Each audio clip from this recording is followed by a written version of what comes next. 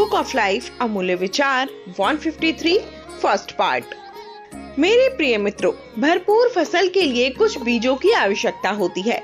गुणन चमत्कारी है। हम जो बोते हैं, उसका हज़ारों गुना हम काटते हैं। सर्वशक्तिमान ईश्वर हमारे समस्त कार्यों का हिसाब रखते हैं। चाहे वे अच्छे हों या बुरे, इसीलिए बहुत सारी अच्छी फ़सल के लिए हमेशा अच्छे बीज बोएँ। Doctor Kumar Prashant Manav, senior advocate, लेखक।